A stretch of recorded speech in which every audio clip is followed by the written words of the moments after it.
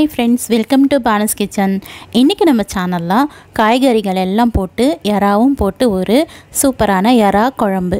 எறா காய்கறி குழம்பு எப்படி செய்கிறதுன்னு பார்க்கலாம் வாங்க. அதுக்கு முன்னாடி இந்த சேனல் சப்ஸ்கிரைப் பண்ணலன்னா சப்ஸ்கிரைப் பண்ணிக்கோங்க. இதுக்கு தேவையான பொருட்கள் எல்லாம் என்னென்னு பார்த்தீங்கன்னா காய்கறி நமக்கு பிடிச்ச காய்கறி போட்டுக்கலாம். முக்கியமாக முருங்கைக்காய் உருளைக்கிழங்கு வாழைக்காய். இது ரொம்பவே நல்லாயிருக்கும் இந்த குழம்புக்கு. அது கூடவே நம்ம வந்து தேங்காய் தக்காளி சோம்பு இதுவும் எடுத்து வச்சுருக்கேன். இது வந்து நம்ம அரைக்கணும். அதே மாதிரி கத்திரிக்காயும் எடுத்து வச்சுருக்கேன். கட் பண்ணி வெங்காயம் தேவையான அளவுக்கு இருக்குது இது எல்லாமே நம்ம வச்சு ஒரு சூப்பரான காய்கறி குழம்பு ரெடி பண்ணிக்க போகிறோம் இது வந்து நான் ஒரு எலும்பிச்சை சைஸ் அளவுக்கு புளி ஊற போட்டு கரைச்சி வச்சுருக்கேன். அதையும் நான் உங்கள்கிட்ட காமிச்சிட்டேன். இப்போ வந்து நான் தாளிக்க ஆரம்பிக்கிறேன். எண்ணெய் தேவையான அளவுக்கு விட்டுட்டு அதில் வந்து வெந்தயம் சீரகம் ரெண்டும் சேர்த்துக்கலாம். வெந்தயமும் சீரகமும் அரை அரை ஸ்பூன் சேர்த்துருக்கேன். கூடவே கருவேப்பிலை அது கூடவே வெங்காயம். வெங்காயம் வந்து ஒரு பெரிய வெங்காயம் கட் பண்ணியிருக்கு. அதையும் சேர்த்துட்டு இது வந்து வதங்கட்டும். இது வதங்குற டைமில் நம்ம மற்ற காய்கறிகள் எல்லாம் ஒன்று ஒன்றா சேர்க்க போகிறோம் ஃபஸ்ட்டு நான் வந்து கத்திரிக்காய் சேர்த்துக்கிறேன். கத்திரிக்காய் வந்து நீளமாக கூட கட் பண்ணிக்கலாம். இந்த மாதிரியும் கட் பண்ணிக்கலாம். இப்போது அடுத்தது வாழைக்காய் கூடவே உருளைக்கிழங்கு கூடவே முருங்கைக்காயும் சேர்த்துட்டு இது எல்லாமே நம்ம ஒரு ரெண்டு நிமிஷத்துக்கு அந்த எண்ணெயிலே வதக்க போகிறோம் நல்லா கிளறி விட்டுறணும். இந்த குழம்பு வந்து ரொம்ப டிஃப்ரெண்ட்டாக இருக்கும். எறா நம்ம சேர்க்குறோம் இல்லையா? அதனால். இப்போ எறாவையும் நான் இதில் சேர்த்துட்டேன். இறா நல்லா வாஷ் பண்ணி இந்த காய்கறியோடு சேர்த்துட்டேன்.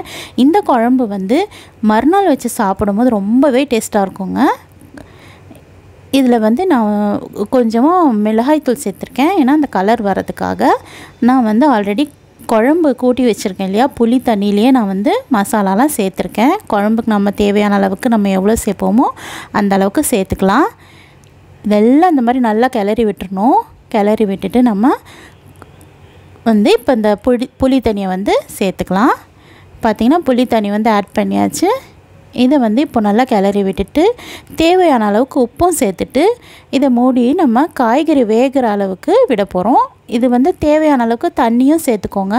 ஏன்னா கொதிக்க கொதிக்க வந்து அது இன்னும் கூட கம்மியாகும். இப்போ நான் வந்து இதில் அரைச்சி வச்சுருக்க தேங்காய் தக்காளி சோம்பு இது மூணு எடுத்து வச்சுருந்தேன் இல்லையா? அதை நான் வந்து அரைச்சி வச்சுருக்கேன். அதையும் சேர்த்துட்டேன். உப்பும் வந்து சேர்த்துட்டேன்.